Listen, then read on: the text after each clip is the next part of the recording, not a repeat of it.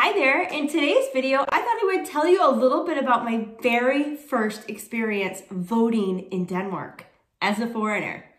Stay tuned. Come along as my Danish husband and our two sons show this American what it means to live a life in Denmark. My new Danish life. Hi there and welcome back to my channel. If you are new here, my name is Kelly and I'm an American who lives in Denmark. Now, I've lived in Denmark for over five years, and I have never been able to vote in Denmark until this year. And it's actually something that I didn't know I had the option of doing. It's a really surprising yet wonderful thing that I'm really glad and appreciative that I had the opportunity to do. And I want to tell you a little bit about that um, maybe you are a Dane and you're thinking, wait a minute, I didn't know foreigners could vote in Denmark, or maybe you are a foreigner and you're thinking, well, how do I get a vote? What do I get a vote for? Or maybe you're just curious. Maybe you're just curious about voting in general and want to know. Well, I'm going to let you know what my experience was like. And I'm, let me tell you, I did not have a lot of time from when I was told I could vote until the time when I actually voted. So uh, I had to do a lot of scrambling to get myself prepared to do voting. But uh, luckily there wasn't that much in the way. You know, when we think about voting in the US, there's a lot of different people you have to vote for because there's a lot of different jobs. In Denmark, in this election, that, that wasn't the case, but I will let you know more about that here coming up. If you have not yet subscribed, please consider subscribing to my channel, clicking on the red button. Give this video a like, also a share if you know other people who are interested in this topic. And don't forget to leave me a comment down below. This video is also sponsored by Ana Luisa. Ana Luisa has sent me some nice Christmas presents. Again, Ana Luisa package is all of their jewelry in these cute little bags. And this first one is something that I got for my sister-in-law. These come in a lot of different colors, but my sister-in-law is really into yellow, so I know that she's absolutely gonna love these. These earrings actually are Ana Luisa. I didn't get them for Christmas. Um, my necklace is also Ana Luisa. These are ones that I wear all the time. I absolutely love these, by the way. I love this color. This is like a burnt orange. I didn't even know about this because this is the very first ring that I am actually getting. And this one is going to my niece. And you can see there, it's got a little bit of bling there in the front. And I'm gonna wear this one in the video because I don't think this one is too weird to wear somebody's ring during the video. That is so much fun. You could uh, like flip it around and wear it each way. So I'm going to probably be talking a lot with my hands so I could show you off that. But the last piece is something that I think is so exciting. This is a gift set is going to be going to someone special. I can't tell you exactly who this person is because it's a surprise.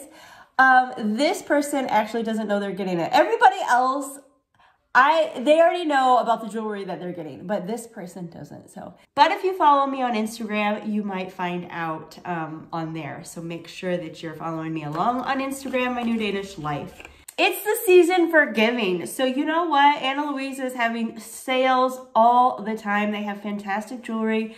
I always am finding something that will go with a different outfit. I love changing my jewelry so it kind of, you know, em emphasizes what I have on. So if you're looking for a gift, um, for someone for a birthday or for the holidays, make sure that you are checking my link in the description below so you can get to their sales that are going on right now. And thank you to Ana Luisa for making this Christmas very special. Okay, let's get started with this video. Now, I have to say that I did a little bit of research when it came to knowing if this was legit, right? I get this letter in the mail that says, you're able to vote. And it's not even a letter that I got. I got my voter's card in the mail about a week before voting. And I thought to myself, is this real? Is this a real voting card? Why am I getting one? And after a little bit of research, I found out why. I got to vote in the fall, November election of 2021. This is something that happens every four years. So I was not allowed to vote before when I first moved here because I hadn't lived here long enough. So, what are the requirements for someone who gets to vote in the November election that happens in 2021 and every four years after that? Well, you have to be 18 years old. So, you could be a Danish person and be an 18 year old and get to vote. But if you're a foreigner, you have to be someone who is either Norwegian, Icelandic, a member of a European Union state, so another European Union country, or somebody like me who is not from the European Union, but I have lived in Denmark for at least four years. So there are a couple of requirements there. So if you're thinking to yourself, oh, well, why didn't I get a vote? I'm a foreigner, but I've only lived in Denmark for three years. Okay, well, then that's probably the reason. Um, then the next time that they have a vote in four years, you'll be eligible. Now, when in November is this exactly? Well, it's actually the third Tuesday of November every four years. So just in case, maybe you're anticipating the next one, which would be in 2025. And you're saying, okay, well, it's November 1st. I don't have my voter's card. Something to look into. You could also contact them at um, the, the citizen service. And if you are curious if you are going to be getting your voter's card. Now, if you're taking notes about all of this because you want the information for yourself, you can actually look down in the description below and find a link to a blog post that I've already written about this. So it's already written out for you. All you have to do is click on it and you have all the information typed up for you if that is something that you're also interested in. Maybe you're not having an easy job completely understanding everything that I say and you'd also like to read it. That blog post is right there and ready for you. So be sure to check that out.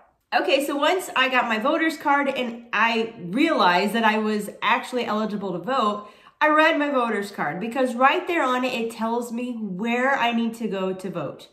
It also tells me which line to stand in because I think there was like four or five lines of where you can go and talk to somebody and they'll write off your name kind of thing and they give you a ballot and you can go in and vote. And it was very organized. So I didn't really have to worry about anything. The only thing that I really wanted to do, obviously, was prepare myself for what it was I was voting. You know, it's kind of crazy because I thought, okay, great. What can I vote for? You know, it's not a national election. I don't get to choose who runs the country, but I get to choose who is the local representative. So it's the local and the regional elections that I was able to vote for. So in reality, I got to vote for two people, a local and a regional. So in Denmark, it's separated between like five or six regions, right? I live in the middle of the peninsula. So I live in Midtjylland or mid, middle cent central Denmark. So that's the area that I got to choose for the person that I wanted to represent the area. In the regional election, this person is going to be in charge of hospitals, healthcare issues, transportation, environmental issues.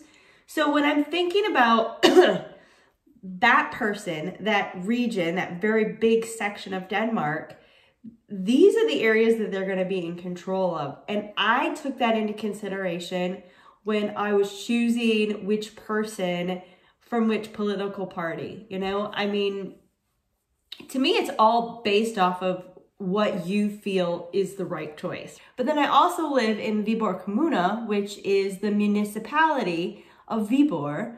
So it's kind of like a county. That's what we would think of it in the United States. And I would get to choose who is kind of in charge of, of the local area. But on the local side, that's a little bit more close to home because that's the person who might actually uh, make some sort of impact on the school my kids go to or the roads that I drive down. Urban development, cultural events, nursing homes, all of this stuff that can happen in my own town or in my own Kommune. So like something that's very close, like 25, 30 minutes away. So these are people who are going to have a little bit more impact on how I live my day, daily day life kind of thing. You know, as I walk through town when it is, we're getting ready for an election, there are signs everywhere. In the US, we put signs in our yards if you want to, but in Denmark, they're really just gonna be on like light poles. We would do that in the US too. And I see the person's face, their name, and then maybe some type of symbol that tells me what political party they're a, a, a member of. And I don't know the difference between all the pol political parties. In Denmark, there are over 10 political parties. So that is where I had to do my investigation first because I thought, okay, if I'm not quite sure about the person, I should be focused on picking the correct political party. As I mentioned, they have over 10 uh, political parties in Denmark. I'm to read them to you. I have them written down. There's the Social Democratic Party, the Liberal Party, the Danish People's Party, the Socialist People's Party, the Social Liberal Party, the Red Green Alliance, the Conservative Party, the New Right, the Liberal Alliance, the Liberal Independent Greens, the Alternative, and the Christian Democrats. that is a lot to, to think of right there. I mean, as far as what I know, like the country right now, it is run by the Social Democratic Party. So that is one that tends to get a lot of votes. Also, I know that in our area, the Liberal Party, which is called Venstre or V, um, that is also another really popular uh, political party in our area, as well as the Conservative Party, which is C. Um, it's so interesting how they're all, they all have their own name and they all have their own abbreviation, and a lot of them are different letters. And that can be kind of confusing for someone who is just starting out learning about all of this. And then also someone who has a very short window before voting time comes. Um, so in my blog post that I have, I have links to every single political party. Um, if not, I think most of these links are in English, so you should be able to read about them. Um, and what I did was I looked at kind of like the main page because you see some words that are repeated often on their website. You know, some political parties are really for social, you know, like, you know, schools and daycares and things like that. Some political parties are, are a lot that have to do with health. Like health is the most important thing. So hospitals and stuff like that. And so for me, I was looking at these web pages and thinking, okay, well, what words are repeated a lot? And that kind of gave me an idea of where this political party's stance was mostly. And it was kind of confusing in a way because I kind of agreed with a lot of them. You know, I thought, all right, well, this one sounds pretty good. And then I read another one and I thought, oh, well, that one sounds kind of good too, you know? And there were some political parties right away I was thinking, no, no, no, no, no, no, no, no, no. I've always been a little bit more on the conservative side. In the US, I consider myself a very conservative liberal. because I think that there is, you know, it's not just I'm on this side or I'm this side. I think there's a line, right? And where are you on that line? I think that it's it's very much more like that um, in the way that I think of it. Instead of I'm separated you know, I'm in one group and that doesn't touch another. I think there are a lot of things that can kind of cross over. And when you have so many political parties, I think that there are a lot of shared values. And so maybe as I eh, have more experience with them, I will I will tend to gravitate towards one group more than the other. But there is also um, a website that I went to. They have these candidate tests. So you can go on and they ask you a couple of different questions and I have the links to these in my blog post, so you have to check that out. Um, you click on it and you take this little quiz and after the quiz is over, they will tell you which person is probably the best person in your area to vote for, whether it's your regional person or your local person. And, you know, I took this with a grain of salt, which means that I took it as a suggestion, but I didn't look at it as this is exactly what I have to do, you know?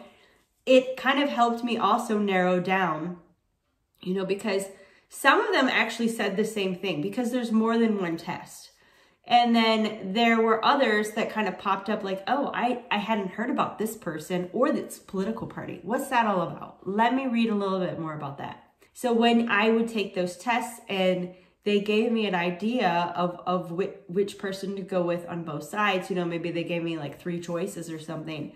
I was definitely going to be reading about those political parties to make sure that I thought that those political parties were going to be focusing on these specific areas. Um, yeah. Okay, so flash forward to voting day. I was so excited. The polls opened at 8 o'clock, and I thought, okay, well, I'm going to go right away because I don't want to have any issues. They were open from 8 in the morning to 8 o'clock at night. Um, I knew I would have been able to go at some point in time, and I thought, well, let's just get it in and get it over with, and then I don't have to think about it or worry about like missing it or forgetting it or whatever. And so my husband and I went together um, it was really kind of a fun thing to be able to do together because he couldn't vote in the USA. Foreigners aren't allowed to vote. That's like the difference between a foreigner and an American. That's something that we've never done before together.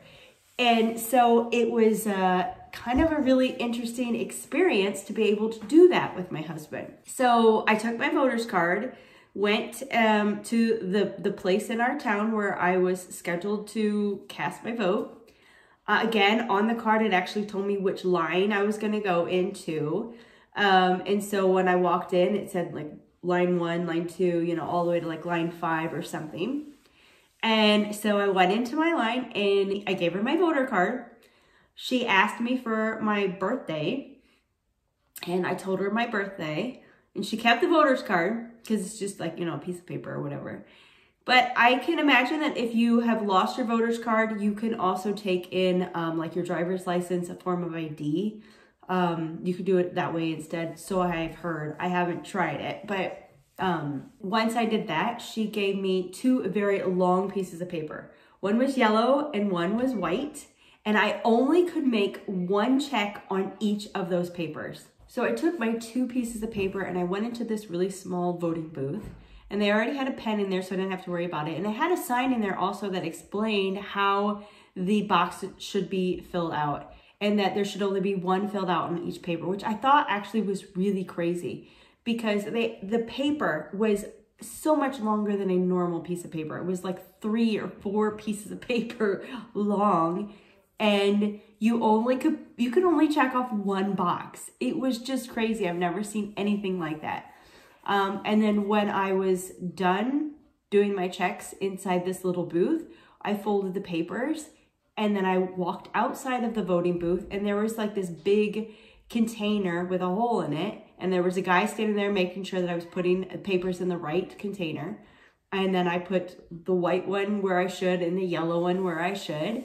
And then that was it. I was all done it was a really exciting experience. And when the polls closed at 8, you would see that on TV, they had a lot of new news coverage from all over Denmark and they were, you know, starting to tally up the the the votes and you know, they would call in with, oh, you know, this Kommune has so many of their votes in and these are the front runners and you know, it's something that that happens with every election. We have it in the US too. It's always really exciting to kind of see who was going to win. For me, it was still kind of a whirlwind. I, you know, I felt like I was prepared, but when you are, are in that situation with those papers and you have to fill them out, and I'm thinking, oh my gosh, I'm trying to remember which paper goes to what and what did I just vote for? And um, it, it really felt like a blur. But I know now to be a little bit more prepared for the next session, the next um, election, which is in four years.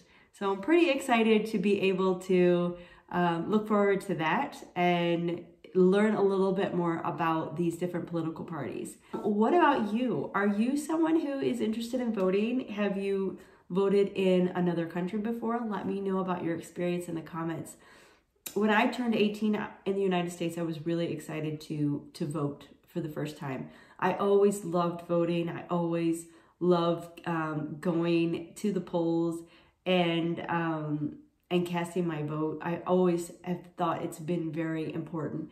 I know that women have not always been able to vote um, uh, for what it is that that they uh, want to happen in their their surrounding areas, and so I think it's very important that because I'm allowed to vote that I I exercise that right um, as an American, but also as a foreigner living in Denmark. I feel extremely privileged. I know some people are thinking, oh, it's not that exciting. Why are you talking so much about it? And it's like, to me, it's really exciting because I don't feel very important sometimes as a foreigner. There's so many people, situations, whatever, that remind you that you aren't someone who belongs here, that this is not your home. And it makes me feel bad sometimes. And I, I try to, to keep putting my, my best foot forward and, and not think about these things. But when I have an opportunity like this that shows me as an equal to my peers, eh, it really, um, it it's really appreciated. So I am going to use my voice when I can, and I'm excited about it. It might not be exciting to other people, but it is exciting to me. But I really um appreciate to hear your comments, eh, so make sure that you're leaving them down below. Thank you again to Ana Luisa for all of the beautiful gift set gifts that I'm going to be giving out to my family, also for always making me look a little shiny during my videos. I really appreciate it. Don't forget to check my link below in my description to get your own jewelry at Ana Luisa at a really good price. Thanks for coming along on this video and as always, take care.